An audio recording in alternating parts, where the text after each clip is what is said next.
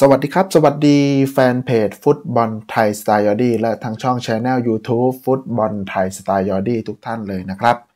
กลับมาอัปเดตข่าวสารแวดวงวงการฟุตบอลไทยนะฮะกับผมยอดี้ประเสริฐมณีเลิศชัยนะครับ นักข่าวฟุตบอลไทยนะครับ วันนี้ก็ไปก่อติดกันที่ความเคลื่อนไหวนะครับ ก่อนเกมซูเปอร์บิ๊กแมตช์นะครับในศึกฟุตบอลอาเซียนคัพ 2022 นะฮะ ที่ทีมชาติไทยเนี่ยมีโปรแกรมจะพบกับทีมชาติอินโดนีเซียนะครับในการแข่งขันกลุ่ม A ในศึกอาเซียนคัพ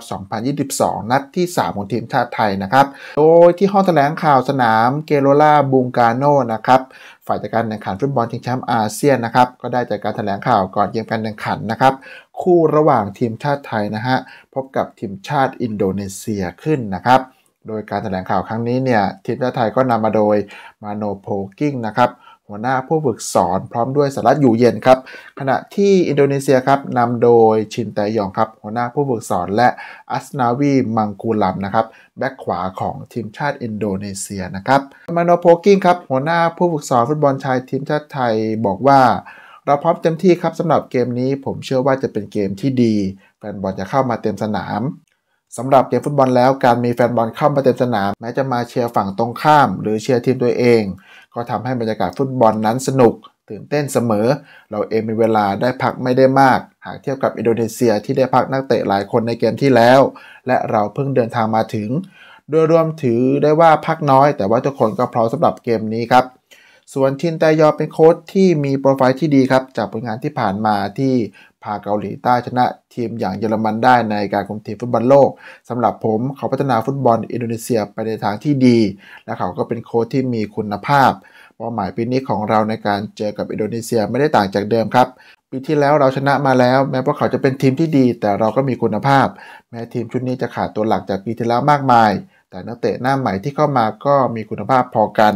และมากพอที่จะพาเราไปถึงเป้าหมายในรายการนี้นะครับ ส่วนในมุมมองผมในทัวร์นาเมนต์นี้มีอินโดนีเซีย มาเลเซีย และเวียดนามครับที่เป็นทีมที่แข็งแกร่งสำหรับรายการนี้ และรวมแล้วเราเป็น 4 ทีมที่ดีที่สุดในอาเซียนนะฮะเราเจอพวกเขามาแล้ว 2 รอบครับ และเจออีกครั้งในซีเกมครั้งนี้เป็นครั้งแรกที่มาเยือนอินโดนีเซียครับ ผมคิดว่าแฟนบอลน่าจะมากันเต็มสนาม และทำให้เกมนี้เป็นเกมที่สนุกทั้ง 2 ทีมต่างมีคุณภาพ พร้อมแสดงให้แฟนบอลเห็นสำหรับเราเป้าหมายยังเหมือนเดิมครับ คือเอาชนะให้ได้การเล่นต่อหน้าแฟนบอล เราจะใช้เป็นแรงจูงใจมากกว่า ในทีมเรามีนักเตะที่มีประสบการณ์มากมายอย่างสารัตอยู่เย็นครับธีรศิลป์แดงดาธีรทรบุญมาทัน ที่มีคุณภาพผ่านเกมแบบนี้มาแล้ว จะช่วยทีมในสถานการณ์นี้ ผมคิดว่าไม่เป็นปัญหาสำหรับเรา และเกมน่าจะออกมาสนุกนะครับ ส่วนนักเตะอินโดนีเซียชุดนี้เป็นชุดเดียวกับที่เราเจอในรอบชิงชนะเลิศนะครับ ซึ่งหลายคนเนี่ยก็ได้ไปเล่นในซีเกมหลายคนอย่างอายุน้อย แต่เล่นด้วยกันมานาน โดยส่วนตัวแล้วผมรู้จักทีมชุดนี้ดีครับคนที่เคยไปเล่นเบลเยียมหรือสเปนก็สามารถช่วยทีมได้ เราเองก็ทำไปแล้ว 9 ประตู และยังไม่เสียประตู ก็ถือว่าเป็นผลงานที่น่าพอใจ แต่ต้องการสารต่อผลงานที่ดีต่อไปครับ เหมือนกับ 2 เกมแรก นี่คือเรื่องที่ชัดเจน ส่วนธีรทรเท่าที่เช็คก็ไม่ได้เป็นอะไรมากครับ เมื่อวานก็เดินทางมากับเรา วันนี้ต้องไปเช็คในการซ้อมอีกครั้ง ขณะที่สารัตอยู่เย็นครับ นักเตะทีมชาติไทยก็บอกว่าทุกคนรู้อยู่แล้วครับว่าเกมนี้เป็นเกมที่ไม่ง่ายสำหรับเราครับ แต่เราก็ได้มีการเตรียมตัวที่ดี นักเตะทุกคนก็ได้พักไป 1 วัน พวกเราก็พร้อมเต็มที่ มีเป้าหมายที่จะเก็บชัยชนะให้ได้ทุกนัด เราพยายามเอาชนะในเกมนี้ และผ่านเข้ารอบรองชนะเลิศต่อไป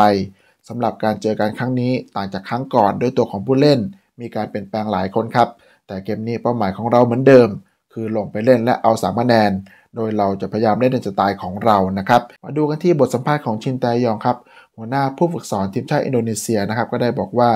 ทีมชาติไทยเป็นทีมที่มีคุณภาพครับและมีการเล่นที่ค่อนข้างหลากหลาย ในทีมก็มีนักเตะประสบการณ์สูงมากมาย และมีคุณภาพด้วย ขณะที่อินโดนีเซียของเราก็มีทีมที่ดี แน่นอนว่าการเล่นต่อหน้าแฟนบอลเป็นสิ่งสำคัญ คือแรงกระตุ้นชั้นดีที่จะช่วยให้ทีมได้รับชัยชนะ เกมนี้จะเป็นอีกเกมที่ดีของเราในทัวร์นาเมนต์นี้นะครับนี่ก็เป็นบทสัมภาษณ์ของทางทีมชาติไทยแล้วก็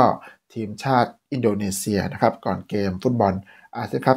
2022 นะครับ ซึ่งคู่นี้เนี่ยจะแข่งขันกันที่สนาม เกโรล่าบุงกาโนนะครับในวันที่ 29 ธันวาคม 2565 นะครับ เวลา 16นาฬิกา30 นาทีนะครับ ถ่ายทอดสดทางช่อง 9 m c o t HD หมายเลข 30 และ T Sport 7 หมายเลข 7 นะครับ ยังไงก็ติดตามชมและเชียร์กันได้ และให้กำลังใจทีมชาติไทยกันนะครับสำหรับวันนี้ฟุตบอลไทยสายอดีขอขอบคุณทุกการติดตาม รับชมรับฟังเหมือนเช่นเคย ไว้พบกันใหม่ในโอกาสต่อไป สวัสดีครับ